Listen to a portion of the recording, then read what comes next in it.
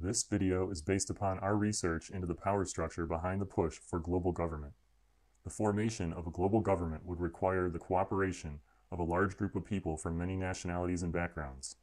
An organizational structure would be required to guarantee fairness, establish hierarchy, and avert betrayal. Such an organization would need to demonstrate a rich history of trust and cooperation between members. Prevailing thoughts on this subject are that such an organization would have its roots in Zionism, Satanism, or Freemasonry. Let us first consider Zionism, which seems an unlikely choice for the following reasons.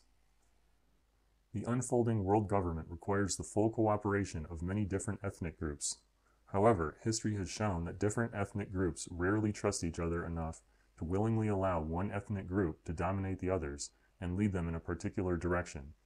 For instance, you wouldn't find early Irish American immigrants handing over the reins of power to Italian American immigrants or Jewish American immigrants, and vice versa.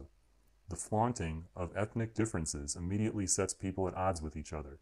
Typically, they do not form close bonds and higher levels of trust. For a Zionist world government to work, many different ethnic groups would need to empower a tiny group of Zionists, most of whom are Jews, and in essence relinquish their destiny to this highly ethnic group. As many of you are aware, Zionism is a nationalistic idea which supports a Jewish nation state and the territory defined as the Land of Israel. Pro world government ethnic groups in China, India, and Pakistan would have to buy into Zionism to a large extent and base their trust upon relationships emanating from such a belief. And if you believe that Zionists are dominating and controlling the largest Eastern nations, it is important to consider that countries such as China, India, and Pakistan have sizable nuclear arsenals. Could these nations be bullied into submission by a scant few followers of Zionism? And if they could, would the leaders of these Eastern nations continue to enthusiastically support the idea of world government and champion a global banking structure run by a dominant group of Zionists? Speaking from a purely historical standpoint, it remains highly unlikely. And yet, the leaders of the Eastern nations are in full support of the emerging world government and its banking structure. Some say that Freemasonry is controlled by Zionists.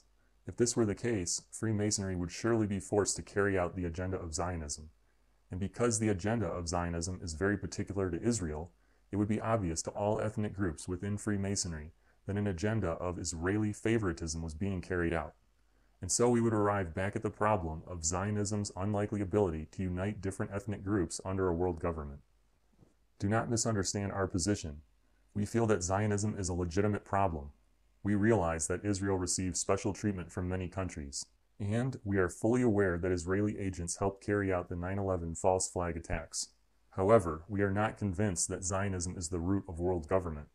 There's a good possibility that many globalists are pretending to be Jews and or Zionists so they can hide behind the anti-Semitic defense. Furthermore, real Jews and Zionists who advocate world government are likely utilizing the anti-Semitic defense as well. Using sympathy to gain support has worked wonders as a psychological operation, and we see no reason that those behind a world government would not employ such a tactic. In our quest to uncover the root of global government, the next possibility we might consider is Satanism, which has its roots in the Abrahamic religions of Judaism, Christianity, and Islam. Although Satanism has come to encompass a variety of New Age philosophies, it can never truly escape the confines of the religious structure from which it sprang. Surely there have been some moderately successful attempts to morph Satanism into atheism, but because its origins lie in the Abrahamic religions, it does not easily translate into other world religions and belief systems. Therefore, it is unlikely that a belief in Satanism would unite a Chinese Taoist, Japanese Buddhist, or Indian Hindu under the banner of world government. However, many world leaders with these Eastern religious backgrounds are deeply involved in the push for a world government. These men and women could be hiding a satanic belief, but again, it remains unlikely.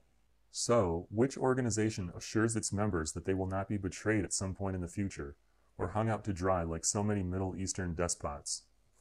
Our third option is Freemasonry. Unlike the last two possibilities, Modern Freemasonry is an all-inclusive organization. Atheists are permitted to join through the Grand Orient de France branch of Masonry. Other Masonic lodges merely require the belief in any supreme being. Freemasonry spans a variety of ethnic groups, Historically, it has fostered trust and cooperation between members of different cultures, races, and religions. There are Masonic lodges in many parts of the world, including Europe, the Middle East, China, India, the Americas, and Africa. Lodges even exist within the military hierarchy of many countries. For instance, the U.S. government allows Masonic lodges within all branches of the military. Masonic symbols and landmarks are strewn across almost every continent. From the Masonic obelisks in Israel, Paris, Washington, D.C., Vatican City, and London, to the Freemason Rothschild funded Israeli Supreme Court with its massive Masonic pyramid complete with an all seeing eye at the pinnacle, to the Masonic Temple in Forest Hills, Ohio, which was made possible by Rockefeller estate donations, to the lodges located within the former British colonies of Hong Kong and India, to the Masonic layout of Washington, D.C., the Mason donated Statue of Liberty, and the symbology on American money itself. No one can deny that Freemasonry has infected almost every country on the planet. Based upon such criteria, Freemasonry could easily be the organization behind the push for world government. There is also abundant historical evidence that the Freemasons have used their power for nefarious purposes. Freemasons were behind the murder of William Morgan, the Jack the Ripper murder cover up, the French Revolution, the plot to kill Archduke Ferdinand, plans for world wars, judicial and police corruption in the UK, and the mafia related activities of the P2 Masonic Lodge, to name a few. Interestingly enough, the ruling body of Freemasonry never accepts responsibility for any wrongdoing. Instead, they devote all of their energies to deflecting bad press and denying involvement in any activity deemed harmful to the organization. Masons have proven to be some of the most accomplished liars on the face of the earth. Freemason oaths to aid and assist any distressed Freemason and never reveal anything related to the Brotherhood when given under a Masonic sign, except in matters of murder or treason, are mostly to blame for their numerous deceptions. It is important to remember that Freemasons did absolutely no charitable work until after Freemasonry was banned in several U.S. states around the year 1830 for the organization's involvement in murder and conspiracy. During this time, American Freemasons essentially went into hiding and voluntarily closed lodges to avoid condemnation from a rightfully angry citizenry. In 1870, the Freemasons quietly reemerged and created the Shriners, whose focus was to be fun, fellowship, and charity. The Shriners branch of Freemasonry was designed to put a good face on the recently besmirched organization and nothing more.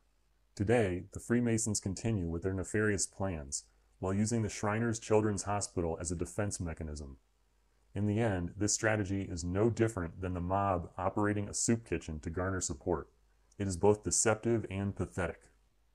Based upon years of research and a careful process of elimination, we are now confident that Freemasonry is the driving force behind a world dictatorship. We are also convinced that there are no good Freemasons. All members are fully aware of the organization's many trespasses over the centuries, as well as their treacherous oaths, yet they refuse to resign. Unlike most taxpayers who only pay a fraudulent government to avoid lengthy prison sentences, all members of Freemasonry willingly donate money to the Freemason organization and are therefore complicit in the activities of the whole. We encourage the viewer to produce anti-Masonic videos, websites, and spread this message by word of mouth. You may also wish to hold protests outside your local lodge. Freemasons hate bad publicity and they deserve every bit of it. Your hard work and dedication can bring about the downfall of the abominable Freemason Mafia.